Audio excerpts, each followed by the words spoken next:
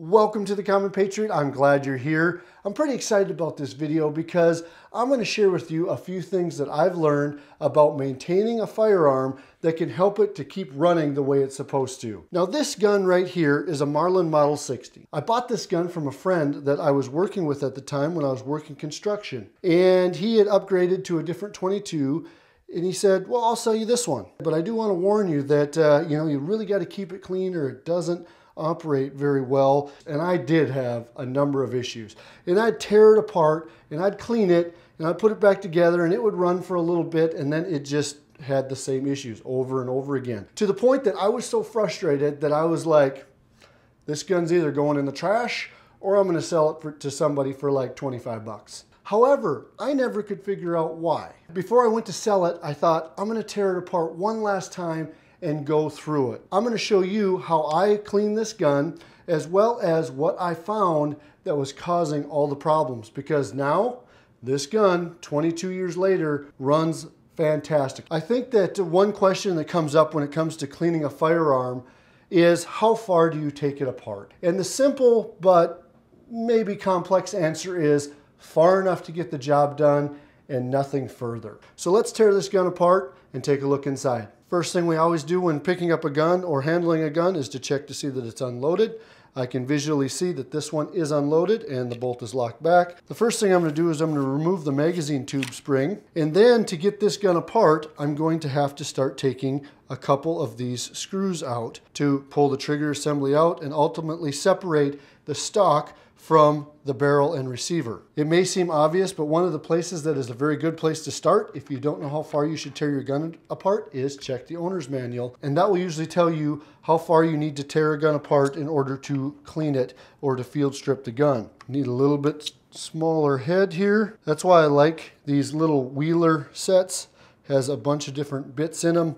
They're specifically meant for firearms. They're just a very handy little set to have around. There's the trigger group, but I took the screw that holds the barrel down to the stock, so now that's going to allow this to separate from the stock. Before I go any further, what I'm going to do to keep my hands clean is I always like to use a pair of latex gloves or something like that. Now as I continue to pull this Marlin Model 60 apart, there's a little pin here in the back, and that's going to allow this part of the receiver and a lot of the inner workings of the firearm to come out. Pulls out, there is the bolt handle, and now this gun is completely field stripped. Now I'm ready to show you my cleaning process. The first process that I'm going to do is I'm actually going to use this Otis bore foam cleaner because it's going to take a little time for that to work in the bore. I'm going to put it up here, push it down here so I can spray it right into the receiver end of the barrel. And I'm going to let that foam sit there and work its way down the barrel. That foam will get in the barrel and uh, break everything up. I'll run a patch through it at the end to clean it all up. So I'm gonna grab the Shooter's Choice Quick Scrub. Let's get some safety glasses on because I'm going to be spraying chemicals and I wanna protect my eyes. Using these tubes sometimes is a hassle, but you'll realize if you do a lot of gun cleaning that you will definitely save on the amount of solvent that you use when you're doing things. I'm just going to take each individual part and spray it down quickly. I'm going to set it aside. I'm to spray down the bolt. Now, if you're wondering, I do have a garbage can set here on a chair that you really can't see on the screen that I'm spraying this chemical into. As I do this, just going to spray down all these parts after I've sprayed everything down is I'm going to use a brush. This one happens to be a blue Otis nylon brush. And I'm going to scrub all the pieces down. Be careful if you're scrubbing a spring because you can unhinge it from whatever it's attached to and it goes bing across the room. And then you're like, where did that come from? Or more importantly, where'd it go?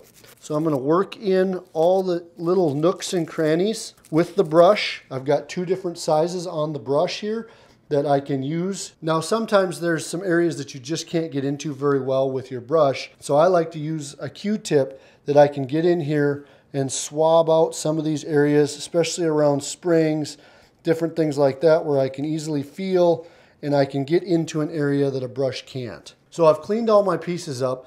What I'm going to do now is I'm actually going to spray them off again with the Shooter's Choice Quick Scrub just to kind of blow off any of the debris that I already shook loose by using the brush.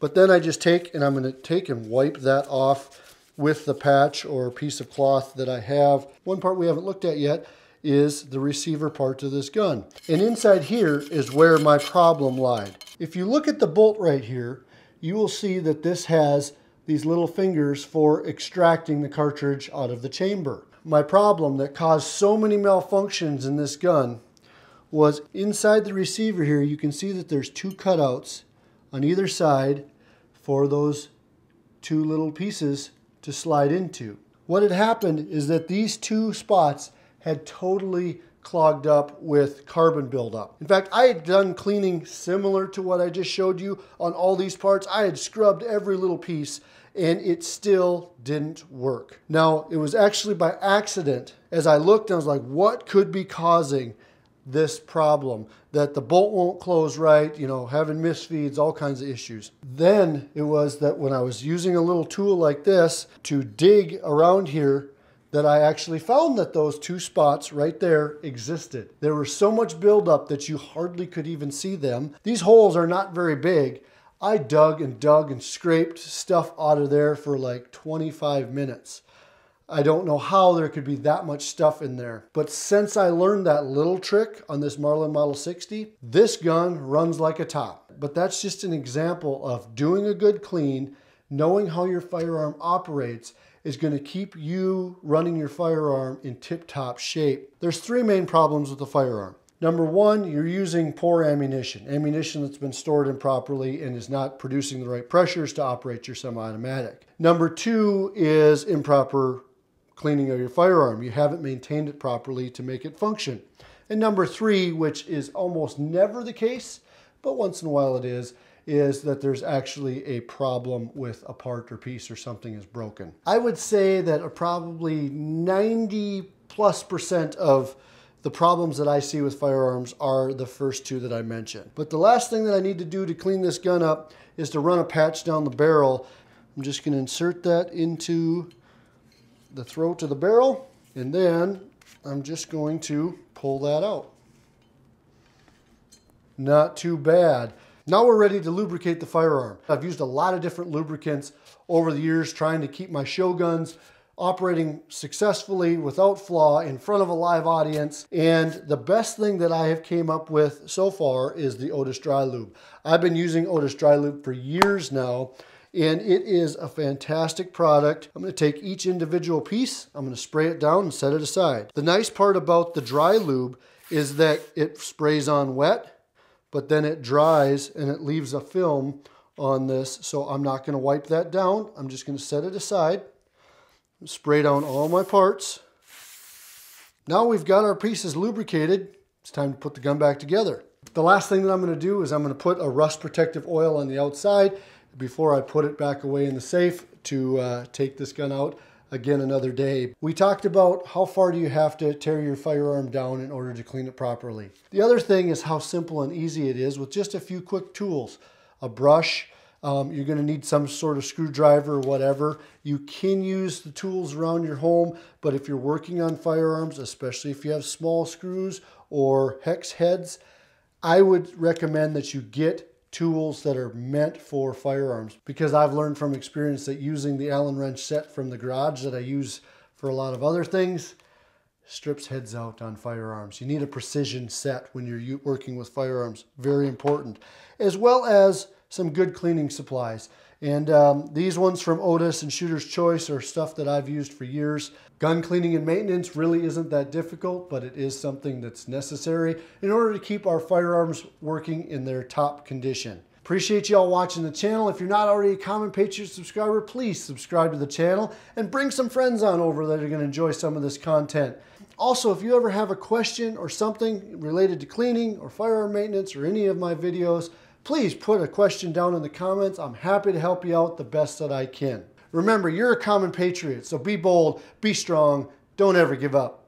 God bless. We'll see you next time.